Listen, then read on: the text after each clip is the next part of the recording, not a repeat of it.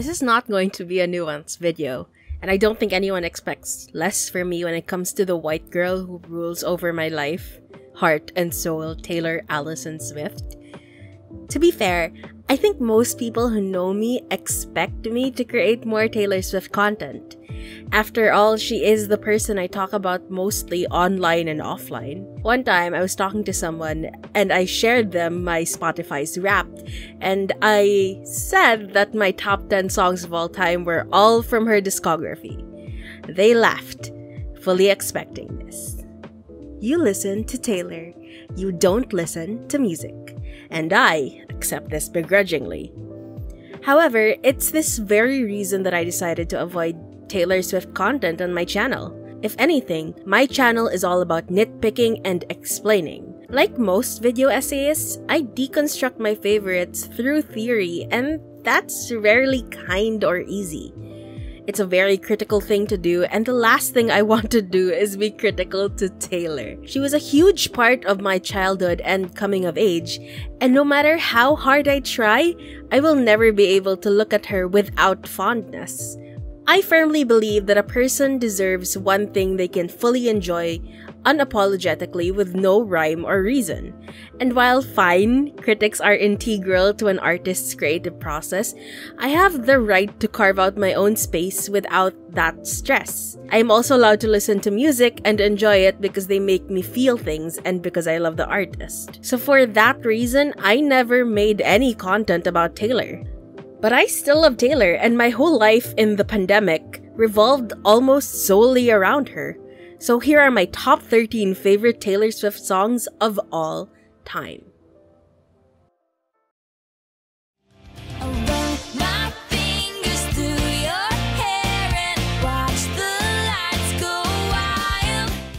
Taylor is known for being amazing at songs about heartbreak, more on that later, but I don't think people quite appreciate how saccharine, sweet, and joyous her happy and in love songs are. In particular, her earlier works always have me feeling a little more idealistic about romantic love in general. Both Fearless and Speak Now deal with the cracking facade of a fairy tale romance. However, both albums have songs that describe how a first love is supposed to feel wild, exciting, and crazy. Though Sparks Fly is not about Taylor's first love Drew, it shows how electric love is through its lyrics and production the electric guitars, the hypnotic percussion, the Hallmark-esque lyrics all come together to create the perfect tour opener for a fairy tale era.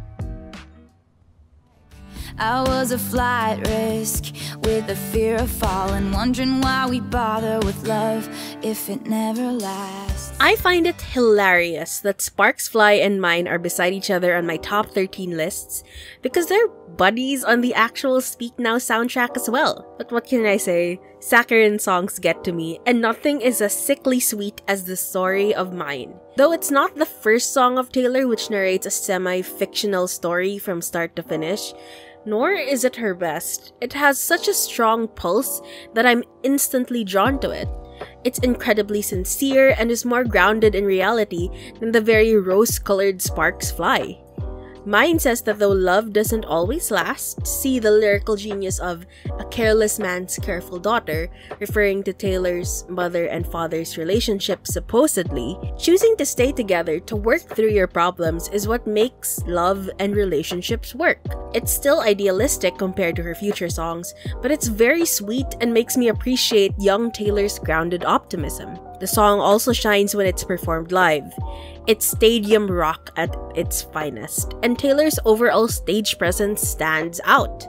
The world tour version of the song adds an awesome guitar solo right before the bridge, and her little performance quirks like the three hair flips and the heart thing bring a lot of character.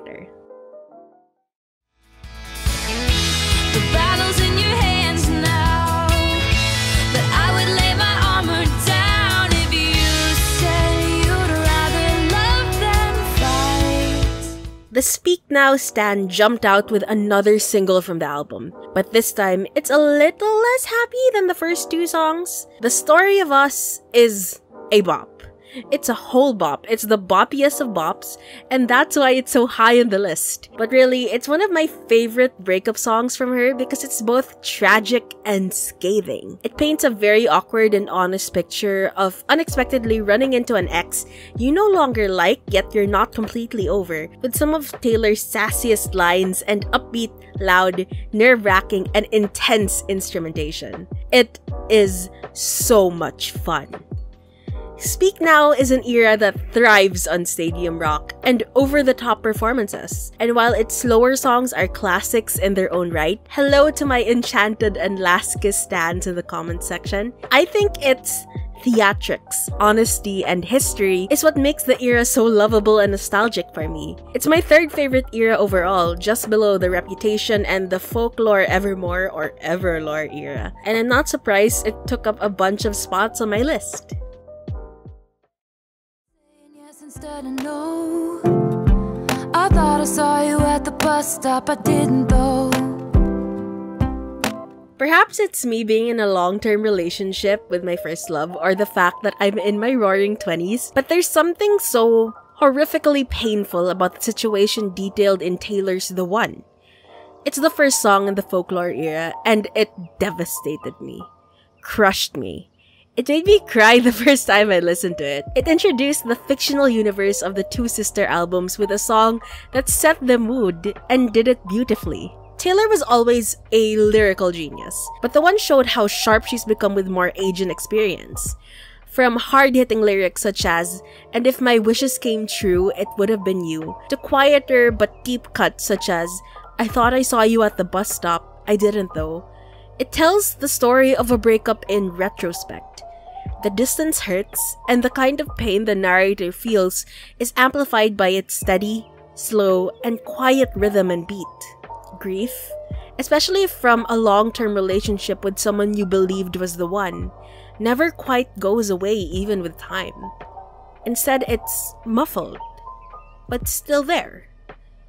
Though I could say this for most songs on folklore, I prefer the long pond version of the one just because Taylor's vocals are crisper and clearer there. It sounds fuller and more whole, and I think it works for a song as mature as this one. Good thing Este's sister's gonna swear she was with me. She was with me, dude. Nothing brings me more joy than bad men getting murdered. And Taylor Swift. You combine both, and you have no body, no crime. I would go as far as to say that this song is a cinematic masterpiece. And that's true because this is essentially Gone Girl, but even better. Honestly, just give Taylor her Oscar. She deserves it after this performance with Haim. Rosamund Pike who? But in all honesty, this song is just so good because it shows how sharp and creative Taylor Swift's writing is. I'm going to go out on a limb and assume that Taylor has never committed murder. However, she tells such a compelling tale about revenge, affairs, and murders in No Body, No Crime that it makes me want her to write a whole musical about these characters. Taylor's storytelling is on point here, and it's just so cheeky and a bit open ended. Everyone knows that Taylor's character killed Este's husband. How did she do it though? There's just enough room for the imagination to run wild. Were all the women in on it? Did Estee disappear or was she murdered by her husband? I mean, all of these were implied in the lyrics, but the character in her voice is mysterious enough that you can't help but overthink, overanalyze, and nitpick. It's one of the things I love about this song, and perhaps the folklore Evermore era in general. As much as I enjoy discovering what inspired Taylor Swift songs, it's equally thrilling to know that these are just stories Taylor comes up with in her mind inspired by other art forms. No Body, No Crime was written because Taylor became obsessed with true crime podcasts during quarantine. Imagine your brutal murder inspiring a Taylor Swift song. We love that for you. It's refreshing, and I love that this shows that art, in the case these podcasts, can inspire other art, uh, song. I don't know why, but putting that that way can be a bit motivating. Also, can we talk about the serotonin that surges through the body when Danielle Haim sings the lyrics, She was with me, dude. I just pop when I hear it. I end up screaming. This is the epitome of feminism, guys. Women supporting women. Bad Blood Squad who? I only know the Haim sisters. Sure, the production isn't for everyone. But it reminds me of the good old days of Yeehaw Taylor, except older, of course, and more mature. The country sound is evident with the strings. I can't tell if the start has a banjo playing, but it has a very similar effect to the production of her early debut work. I acknowledge that this may not go down in history as one of her most beloved songs, but it'll always still be pretty amazing for me. I'm sure that you got a wife out there, kids and Christmas, but I'm when I was ranking these songs, I couldn't believe that this one ranked high.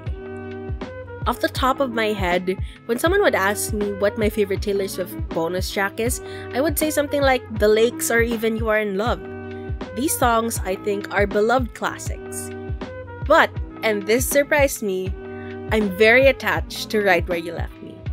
I don't know, you can call me out for my existential dread but I'm mesmerized by the imagery in Right Where You Left Me.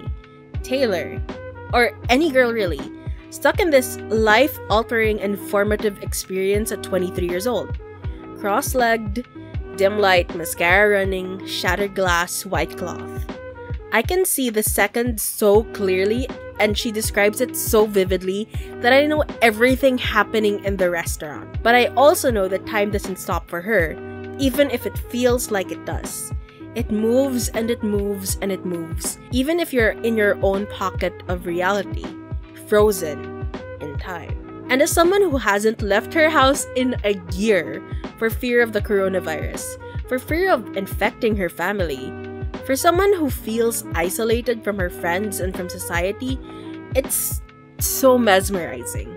It's clearly not what the song is about, because this is basically about a breakup in retrospect, as usual, but it's still so painfully relatable. I'm watching people during the pandemic through a tiny screen. It feels surreal that life went on for others when it essentially stopped for me. Because I haven't left my room. All I see online is people graduating from college, from law, from med school, people getting promoted, people hanging out with friends, people going out on trips, getting engaged, getting married, and it doesn't feel real, yet it's happening and I feel left behind. I'm 23 years old in a pandemic. But back to the actual music. This song is haunting in every possible way. That's it. That's what it delivers. I can't explain how. I have trouble explaining how, but that's why it's so up on the list, even if it doesn't perfectly fit with the rest of Evermore. Back when we were sharks, playing games, I thought you were leading me on. When I first listened to Lover, there was one song that stood out. When I heard it, I knew that it would be the best song on the album for me because it was everything I loved. It was a deep cut with great instrumentation and a fantastic story, and everyone knew it too. All of my friends were gushing about it. We were all anticipating an MV for it. It made me pop. I screamed my lungs out. I memorized the lyrics. And that was the moment I knew I adored Cruel Summer. However, everything changed when Taylor Swift released her City of Lover concert on Disney+. Though there were only a few songs on that list, and most of them lacked the rich sound that was in the album, one song stood out. She sang it on her guitar in front of a live audience with pristine vocals.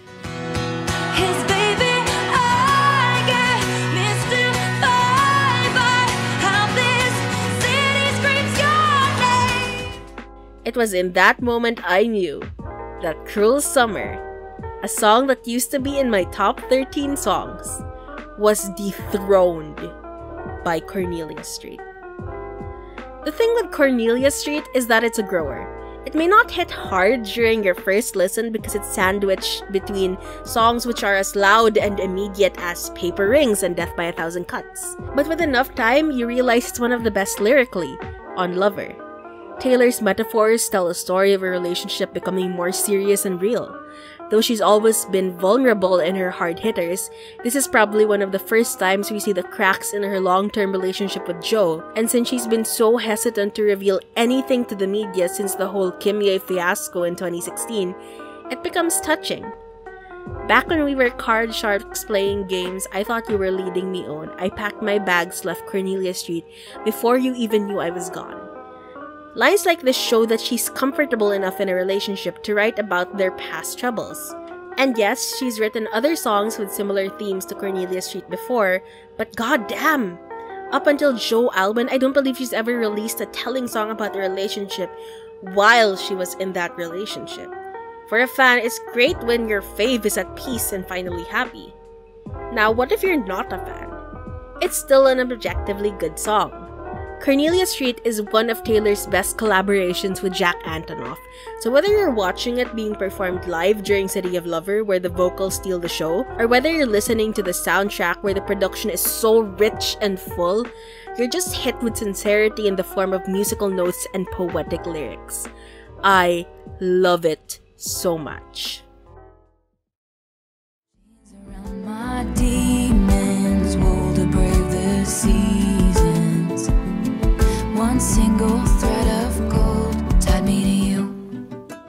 While we're on the topic of sincerity, may I begin to gush over one of Taylor's sweetest, most romantic, and poetic songs of all time?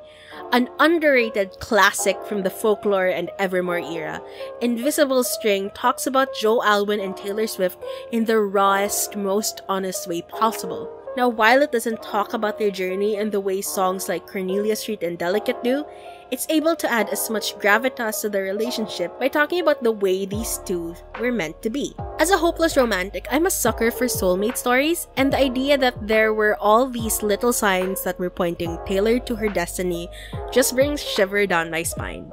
Bad Blood playing in the cab on Joe's first trip to LA, the restaurant he ate at, the color of the leaves changing in Centennial Park, it all provides a glimpse into the smaller and more intimate parts of the relationship that you don't normally see.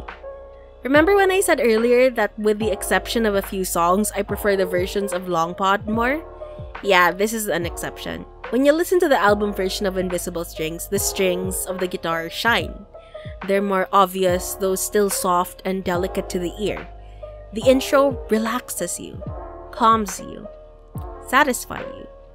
To the ear, it just sounds right, and you get goosebumps the moment her vocals enter. And though I'm a fan of louder production, I think the way it was mixed in the album was enough to propel it to the top 5 over some of her louder and fuller songs. Just because it's quiet, it doesn't mean it's bad because in Invisible String, the lyrics shine. This is also a song that becomes more special to people who have been fans of Taylor for a long time. There's something so sweet and emotional about knowing everything that Taylor has been through in her past relationships and seeing her come out just fine. Lines like, Time, curious time, cutting me open and healing me fine, and hell was the journey, but it brought me heaven, and gave me the blues and then purple pink skies, just make me feel satisfied and at peace. You just know that this girl has been through a lot. It's also one of the many songs in the Folklore album that references a bunch of her previous songs from her arguably most devastating fourth album, Red. The line about time is reminiscent of Taylor's all too well line, Time won't fly, it's like I'm paralyzed by it. Gave me the blues and purple pink skies could be in reference to Red, where she paints a picture of a relationship with colorful metaphors literally. I'm getting ahead of myself with all this Taylor lore, but I think that even if you're not as invested in her history, you'll still feel at peace while listening to this song. But knowing everything she's been through, you're more likely to appreciate it more.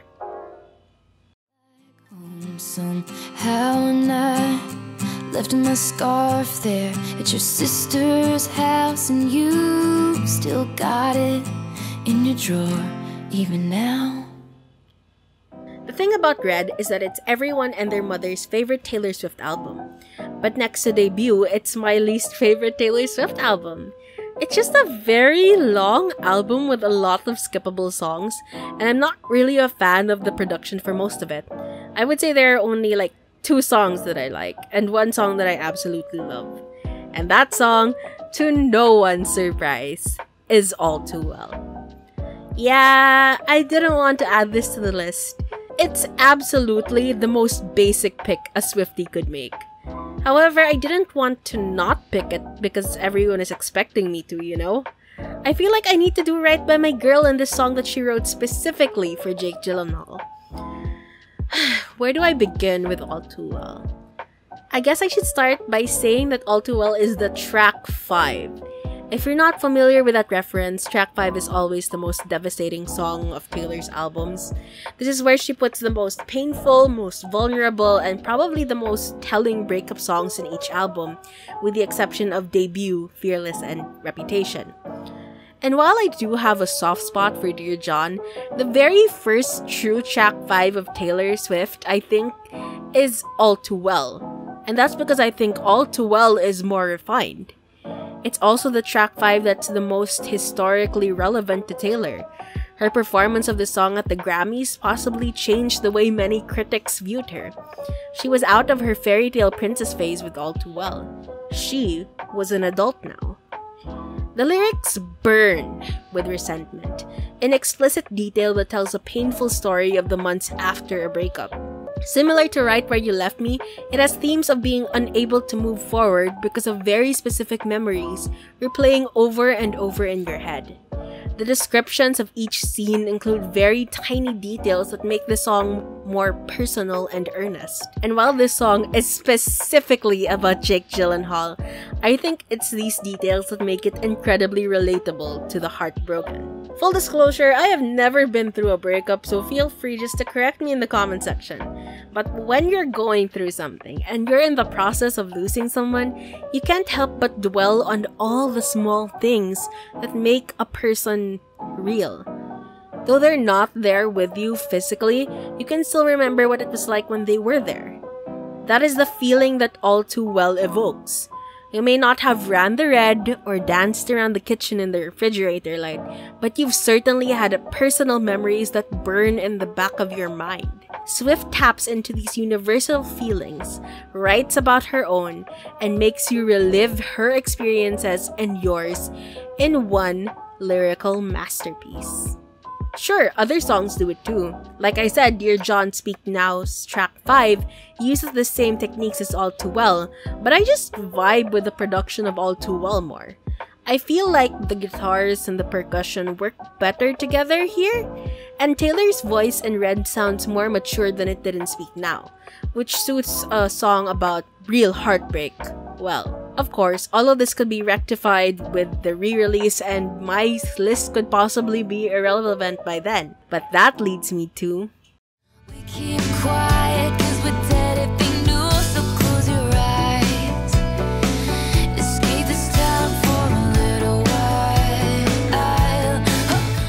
Recency bias at work. AF. But seriously, I adore this version of Love Story. Call it nostalgia, call it recency bias, call it whatever you want, but this song just means something to me because it was my indoctrination as a Taylor Swift fan. The first version, the 2008 one, was just everything when I listened to it. Having never fallen in love before, I still had the same doughy-eyed idea of love 16-year-old Taylor Swift talks about here love torn apart by outside forces, the two of you versus the world, and how it turns out alright in the end. Happily Ever After existed in this version of Romeo and Juliet, where they got married with the blessing of Juliet's household. And that was everything to us kids. It's not surprising that this was the song that made Taylor Swift a household name. It's undeniably Taylor Swift. This is her most iconic sound and most iconic lyric. It's a love story, baby. Just say yes. The charm of the 2008 version is that it's very young. Now, at 23, when I listen to that song and look past the overwhelming rush of nostalgia, I smile because it feels so naive yet hopeful. It's a great song that's cute, so I never in a million years thought it would be in my top 13. However, when Taylor just suddenly dropped Love Story a month ago, it changed the way I view the song. There are only very slight differences, yet when you add them all up, it creates an experience very much different to the original. One very striking change that I think we all expected was her fuller and more mature vocals. In the first version, Taylor sounds like a teenager. You know that this is just a silly fantasy that she wrote for a boy she liked. And that's exactly what happened. She explained that multiple times and dropped hints as to what it's about. It was about who she liked but no one else did, and that's just it. There was nothing else to the song, though it was catchy and fun and relatable to her audience. I mean, I know it was for me. But in this one, in Taylor's version, you can feel that she actually lived through it. And she has! The fullness of her voice plus her age adds more gravitas to what she's saying. At the same time, knowing that the song has lived another life and has created another meaning, one separate from its original, adds to the overall experience. Consider the fact that this was the song Taylor released that propelled her to certified stardom. It began a career that spanned decades, that created stories that were told through albums that she loved and wrote about. Then watch what happened with Scooter and Scott and how Taylor wasn't allowed to own her art anymore. Love torn apart by outside forces. She's not allowed to have what she wants, what she loves.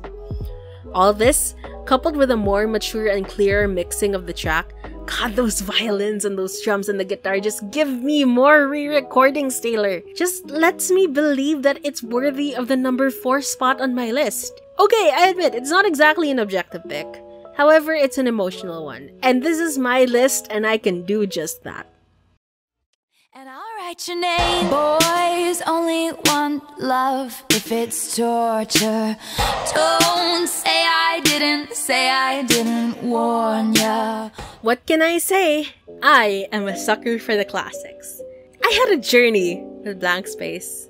I loved it, then grew ambivalent to it, then hated it for very personal, not objective reasons, don't come at me, and then eventually I just I just gave into it.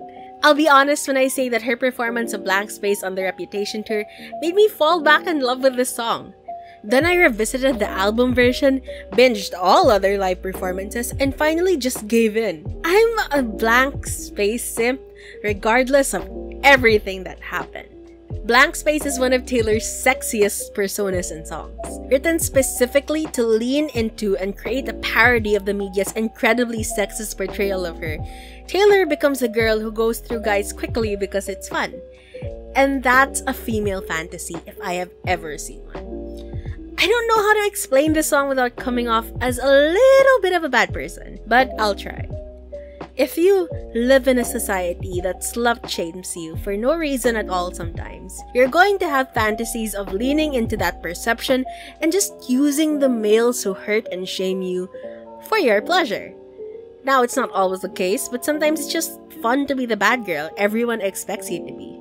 That's somewhat problematic thinking, and I acknowledge that. But I think the fact that Taylor Swift, one of the girls the media treated poorly back in the early 2010s, and even now sometimes, sang this song gives it a bit of oomph and spice, and a free pass to pretend to be that bad girl. Though Taylor is a white woman, I think we can all acknowledge that she has been harassed in the same way actresses like Britney and Lindsay Lohan were. In the early days, the pre-rep and lover days, people thought it was cool to hate Taylor Swift. And since Speak Now, she's always acknowledged that. Songs like Mean and Shake It Off were made in response to all the hate she got. These songs push back. She fights those who hate her and slut shame her. She stands up for herself and ultimately says, I'm better than that. Or I will be better than that. Blank Space looks it all in the eye and says, So what if I am all that? And I love it because it's the sexy power fantasy most girls have. What if we were the girls who broke hearts? What if we were the girls who are hot because we are jealous girlfriends? What if we did this unapologetically as a big screw you to misogyny? That's what blank space means to me and the millions of girls who had Darling I'm a Nightmare Just Like a Daydream in their Twitter bios. I may be biased because I love Taylor's songs like this. I know there are people out there who hate Petty Taylor, who think she's infuriating, and, and that she doesn't create good music when she's at her angriest. But I also think that she has every right to be angry and every right to express this anger through music. I like songs like I Did Something Bad. This is why we can't have nice things. The Man. And even, though I admit this is more of a guilty pleasure than anything else, look what you made me do. It's gloriously fun to someone like me who often feels stifled and muzzled because my explosive personality can sometimes get me into trouble from time to time. I think the reason though this song is on the list while others aren't is because lyrically and sonically, it's a fantastic song. The lyrics are hot and catchy and even poetic at times. It has the pulse and sass and strength most classic Taylor songs have. The song is also incredibly cheeky because it addresses these issues of Taylor without actually addressing the issues.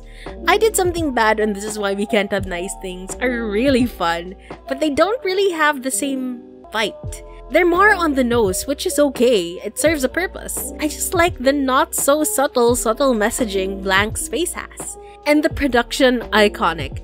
Everyone and their mother knows how Blank Space goes. Everyone and their mother knows the first note. I know I'm overusing this term in the part of the essay, but it's sexy and sassy and explosive and sultry and it fits the lyrics and persona perfectly. So yeah, Blank Space, number 3. 2015 Ica would have been shocked. I'm in a getaway car. I left you in the motel bar, put the money in a bag and I stole the keys. That was the last time you ever saw me. Oh god, I'm so excited to talk about this song because I am just dying to talk about Reputation. It's my all-time favorite Taylor Swift album, which would shock most people because everyone was so critical of it as it was happening. But it's just so good. People need to give this album a chance. It's so much more than its lead single, Look What You Made Me Do. Before I get into Reputation, I want to talk about its deepest cut. The Taylor Swift song that was my favorite up until 2020, Getaway Car. And I don't think I can talk about Getaway Car without talking about the mess of the summer of 2016 when Hiddle Swift swept the world with PDA on beaches and iHeart TS t-shirts. Okay, so basically, two months after Taylor and Calvin broke up after a very long term relationship, she was spotted with one of the hottest bachelors in Hollywood, Tom Hiddleston. Their relationship was fast and spicy and very public. They were spotted more times by the paparazzi than her and Joe, and that is saying something because she and Joe have been together for four years, and Hiddle Swift was not well received. Taylor was already being overexposed and the public was slowly turning on her. Though 1989 just won a Grammy, words were already being thrown at her. People were slut shaming her, calling her out for her white feminism. Fair, that is a fair point, by the way. And criticizing her squad. I think at that point, she crossed the line from being very, very lovable to very, very unlikable. And the violent reaction from Hiddleston fans certainly did not help. And things got even worse because she left Tom. She broke up with him, and to so many people, the worst thing Taylor Swift could do other than being with Tom Hiddleston is to break up with Tom Hiddleston. Then the whole Kanye thing happened, and honestly, I really don't want to talk about that mess. So I'll just end my 2016 flashback there. Now, there are a lot of articles with a more detailed timeline of the two, but that's basically it. When things ended, there was a big why. Why did she leave him? Why did they break up? Was there a reason? Was it all for PR? What happened? Getaway Car answers all that. It fills in the gaps for all those who love to gossip. Taylor talks about a relationship that was destined to fall from the beginning, liking it to a heinous crime that she and the man in the story, who, let's be real, Sam, may have committed. She talks about being chased and hunted down by someone else who turns a circus into a love story. I presume that's Calvin. I'm digressing again, and I'm so sorry for giving a deep dive into Swiftery, but I think that's the initial appeal of Getaway Car. It's Taylor's response to these questions, sang during a time where she wasn't publicly addressing anything. In her first monologue of the Reputation tour, she says, There will be no explanations, only reputation. But there were explanations in her music. So, is this juicy gossip the real reason I love Getaway Car so much? No, not really. The gossip is just a bonus. And I'm aware that I sound like a broken record when I talk about this, but the storytelling in Getaway Car is what gets to me.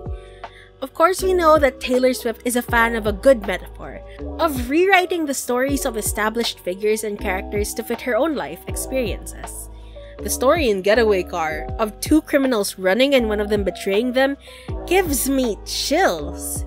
This is the perspective of the traitor, the one who turns the other in, and yet it's not apologetic, but it's self aware? In this case, Taylor knows that she did something bad and that she hurt someone, but she's not asking for forgiveness. And unlike Blank Space, Getaway Car isn't sarcastic. It's sincere, it's honest, and it's brilliantly written. Lines like the best of times, the worst of crimes, and I knew it from the first old fashioned we were cursed, and it's no surprise I turned you in, cause us traitors never win, hit you hard. And let's not forget the iconic bridge that she wrote on the fly with Jack Antonoff. Getaway car. And, and you, you're in the motel bar. Or like, Yeah, I'm in. I'm in the getaway car. Left you in the motel bar. took the in money. mo- took the money in the bag and I stole took the money- took the put the money in the bag and I, I stole stole the the keys. keys. That was the last time you ever saw me. Ah! It's the harshest, coldest, and most scathing line in the whole of Reputation. This song is also everything I love about Rep. I know everyone thinks that Reputation is Taylor's feeling badass album. In their eyes, Rep is all about lashing out, all about being petty, all about owning the snake imagery, about getting revenge on all those who victimized and hurt her in the 2016 Taylor Swift is Over party. And while a part of that is true, I think people forget that most of the album is about love in the darkest moments. And most of the songs like Dress, Delicate, and King of My Heart are about Joe. A love that flourishes in spite of everything. Not this, not Getaway Car though. This is about a love that failed because of the circumstances that surround it. It's a very mature, very honest, and very raw look at Hiddleswift, one that humanizes both Tom and Taylor, but also makes them sympathetic. When you listen to the song and really listen to the lyrics, you realize that it was a relationship that didn't work because everyone considered it criminal to begin with. They were hurting people and Taylor hurt him. She was a thief who had to escape those hunting her down, and she used him. And the worst part is that when you listen to this song, you realize how Taylor didn't consider this relationship as anything other than a getaway car. I think it's a very adult thing to look back at the relationship and realize that the only reason you wanted to be in it was because you wanted to escape something chasing you. Taylor acknowledging this is the main reason I get infuriated when people write off Reputation as a petty album. No, it's a self aware one. She's mad and has every right to be, but she also knows that she put people through very difficult times. Love is not easy. Love during a time where everyone was rooting for you to fail? It's harder. As if my video isn't long enough, I think it's time that I list 13 special mentions that almost made the list but were cut at the last minute.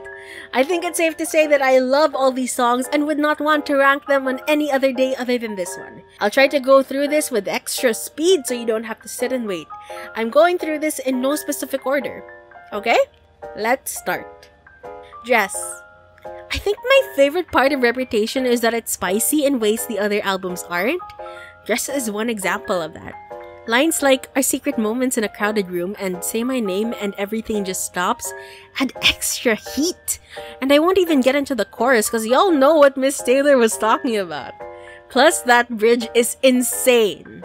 Love it. Coney Island. I considered putting this one on the list over Sparks Fly, but I felt like I was giving Evermore a little too much love. This is probably one of my favorite Taylor Swift collaborations of all time. The lyrics here are just so poetic and vivid, and they reference some of Taylor's deep cuts. Plus, I do prefer Matt's voice over Bon Forever and Always. I'm honestly surprised this didn't make the list. Fearless Taylor knew how to write angry, and she was just a baby! It has some of my favorite breakup lines, especially the one that goes, Was I out of line? Did I say something way too honest made you run and hide, like a scared little boy? I still find it funny. This whole song is about the Joe Jonas drama. This was the driver's license issue back during my day. Cruel Summer. I'm gonna get a lot of hate for not putting this in my top 10. Cruel Summer, though, is a bop. The production is phenomenal, the lyrics are really good, its appeal is instantaneous, and it's like the sequel to Getaway Car. The only problem of Cruel Summer is that it's too short. I needed more of this for it to make my top 13. You're looking for joy? You're looking for serotonin? You want to know what it feels like to be in a happy relationship for the first time in a long time? Listen to King of My Heart.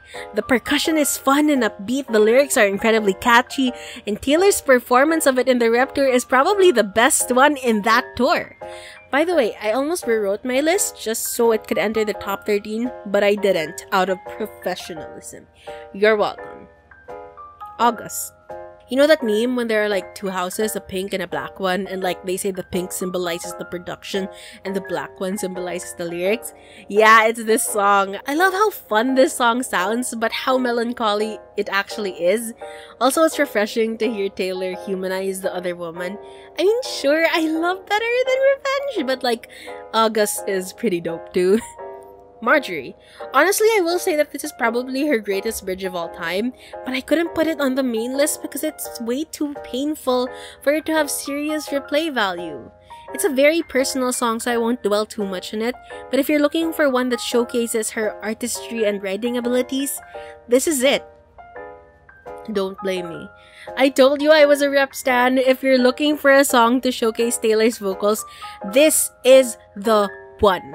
It highlights both her low and high register and proves that she is a powerhouse with amazing breath control. Also, it's one of those love in a dark time songs that define reputation. Very sexy. Lover. I'm a sap for the sentimental ones, and hey, nothing as a sappy as the wedding song of 2019. I think with all the remixes Lover went through, my favorite would be the one featuring Shawn Mendes. Taylor's voice just blends nicely with his, and the overall effect is that it's dreamy. Our song. The song is so damn charming. Sure, it isn't as deep or nuanced as some of the other songs on the list, but this song is cute. You love it because it's naive, because it's innocent, because it's somewhat dated. Amazing. Better than Revenge. I'm so gonna get cancelled for this, but the fact that Better Than Revenge is misogynistic does not change the fact that it's a bop. It's so catchy, it's so fun, and it's so mean. Look, I know that this will make me look like a bad feminist, but you don't know the power this song holds until you scream it during a karaoke session. Taylor, I will overlook this mistake you've made. Please just re-record it in all its sexist glory. I know places. I know, I know, I know I ranked I know places over Out of the Woods, but I'm a real big fan of hunting metaphors. Plus, even though I know the song is about a high profile relationship being hounded by paparazzi, it still fits a serial killer story so well. And you know how I feel about Taylor and murder. Betty. Look, I know this might be a bit controversial, but when Taylor said that this song was meant to be an apology from a young boy's perspective, I understood it. I think it's because this song could basically be renamed to How to Say You're Sorry without actually saying sorry, and that's really, really funny and accurate for men who sometimes don't know how to say they're sorry. Plus, I love the harmonicas in the album version, and it's because of these harmonicas that I fell in love with this immediately. someone's on their knees asked you she would have made such a lovely bride what a shame she's fucked in the head they said but you'll find the real thing instead for the longest time i thought nothing could top getaway car from the first time I heard the song to about the late 2020, I knew that it would always have a special place in my heart. It was my number one. Nothing could top. It'll stay at number one forever and always. And then, god damn, Evermore dropped.